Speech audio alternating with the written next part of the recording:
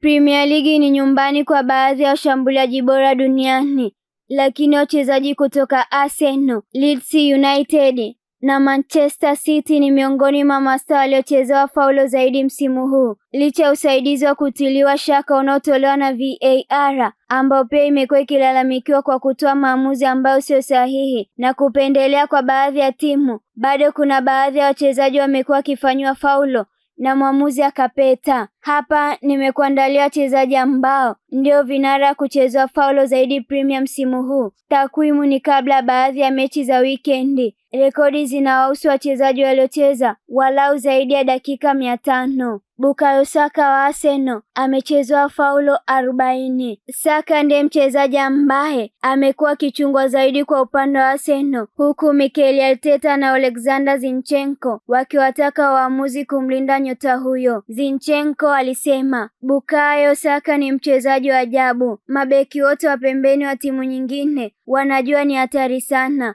hivyo anajaribu kumkasirisha, kumkaba, na waamuzi wanapaswa kujua hili. Tunaweza kuzungumza kuhusu Lionel Messi, Cristiano Ronaldo, Neymar na wachezaji kama hawa.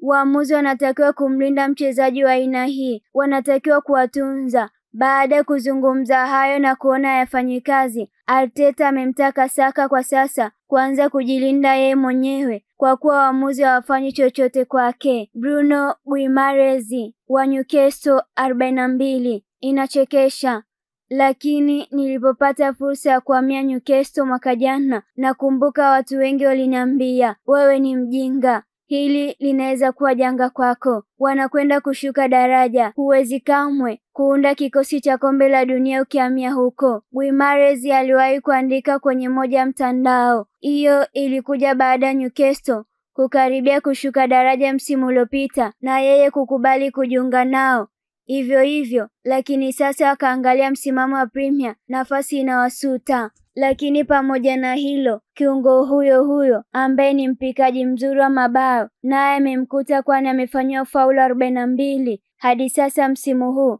na zinaweza kuongezeka zaidi kutokana na aina yake uchezaji.